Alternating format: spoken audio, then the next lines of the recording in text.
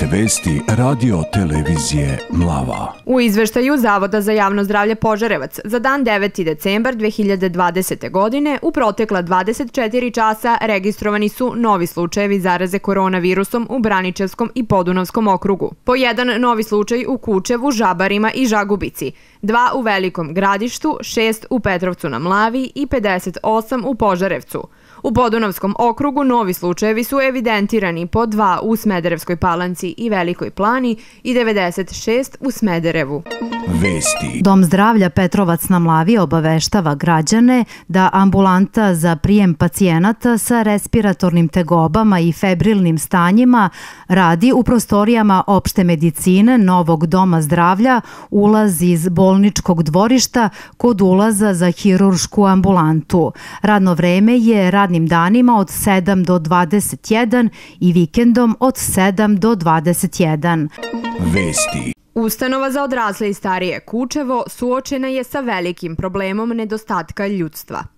Hitno im je potrebno više negovateljica – Svi zainteresovani za rad u ustanovi na mesto negovateljice ili negovatelja mogu da se jave na brojeve telefona 012 852 365, 012 850 853 012 850 999 063 720 6112 ili na broj telefona 064 6585 598 ili da lično dođu u Centar za socijalni rad opštine Kučevo.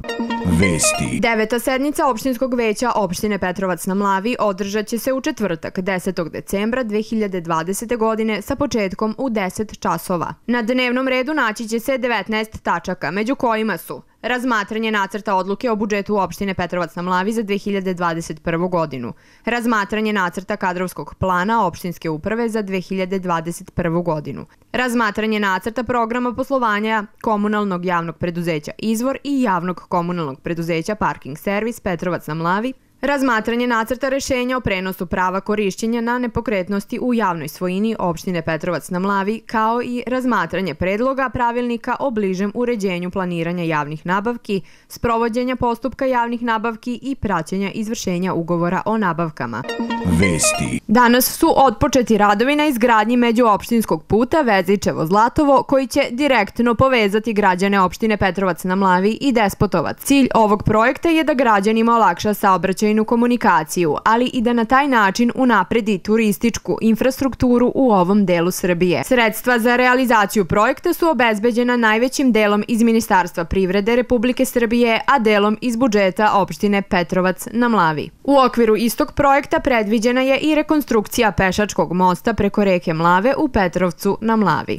Vesti. Izgradnja novog hotela, uređenje marina na Dunavu i izgradnja biciklističke staze od Vinaca do Golubačke tvrđave za opštinu Golubac pored Golubačke tvrđave i manastira Tumane predstavlja značajnu turističku ponudu i u narednom periodu ovaj kraj postaće značajna turistička destinacija u Braničevskom okrugu i Srbiji.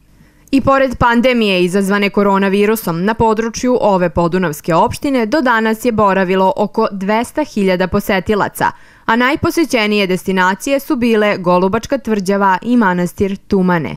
Vesti. Manigram je druga po veličini kompanija u svetu u oblasti transfera novca. Razvijenu mrežu zastupnika posjeduje u 200 zemalja sveta na preko 350.000 lokacija – Jedna od njih je i menjačnica Đorđević u Petrovcu na Mlavi, za sada jedina na teritoriji opštine koja je u svoje usluge uvrstila i ovaj elektronski transfer novca. Detaljnije informacije o Manigramu rekao nam je Vojkan Đorđević, vlasnik menjačnice Đorđević. Od pre dve nedelje sam postao znači, zastupnik e, Manigrama e, za grad Petrovac i Manigram kao jedna internacionalna kompanija koja je osnovana davne 1940. godine, bavi se prijemom i slanjem novca u čitavom svetu. Znači obuhvata kako Evropu, tako i severnu i zapadnu Ameriku, ali i Afriku, Aziju, pa onda Karibe i